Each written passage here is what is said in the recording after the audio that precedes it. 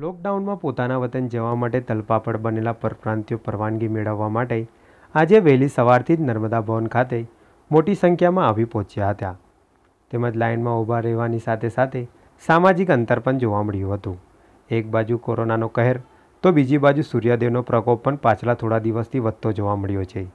તે વચ્ચે પણ આગ્રા તાપમાં પરપ્રાંતિયો પોતાની વતન પરતની પરવાનગી મેળવવા જોવા મળ્યા હતા.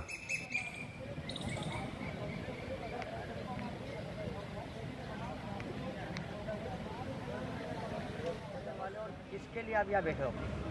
मेडिकल के लिए बैठे हैं यूपी जाना है हम लोगों को गोरखपुर। हाँ।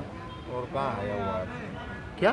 क्या इधर किधर क्या किधर आए हो आप आज हम लोग मेडिकल के लिए आए बोल रहे हैं। मेडिकल के लिए? हाँ। कितने बंदे को यहाँ पे मेडिकल? चौदह लोग हम लोग हैं साथ में।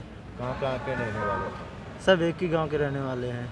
हाँ। कितने दिन से यहाँ पे आप फंसे हुए हो? हम लोगों को हो गया करीबन एक महीना।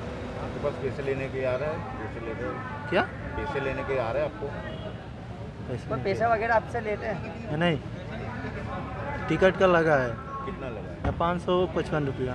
कितनी दिक्कत वो हुई पड़ी है दिक्कत तो बहुत ही क्या नाम है आपका शैलेश कुमार तैयारी રાખી છે અ, બને ત્યાં સુધી ચાયણામાં બેસાડીએ છીએ અને સોશિયલ ડિસ્ટન્સિંગ રખાવીએ છીએ યુપી કે અ, રાજસ્થાનના છે અમુક કેટલાક ઓરિસ્સાના અને બંગાળના પણ છે અને એ લોકો પાસે સોશિયલ ડિસ્ટન્સિંગ રખાવી લાઈન કરાવીએ છીએ અને અહીં આગળ જનસેવા કેન્દ્રમાં પણ લાઈન કરાવીએ છીએ ત્યાં કોરા ફોર્મ અ, ત્યાંથી અમે લઈને પોલીસ ડિસ્ટ્રીબ્યુટ કરે છે અત્યારે અને પબ્લિક એનાઉન્સ સિસ્ટમ પણ પોલીસે લગાડેલી છે. અહીંયા વચ્ચે વચ્ચે અમે એનાઉન્સમેન્ટ આ રીતે કરાવતા રહીએ છીએ. પોલીસ દ્વારા એનાઉન્સમેન્ટ થાય છે કે છૂટા છૂટા બેસો સોશિયલ ડિસ્ટન્સ રાખો, બને ત્યાં સુધી માસ્ક કે કોઈ કપડું યુઝ કરો.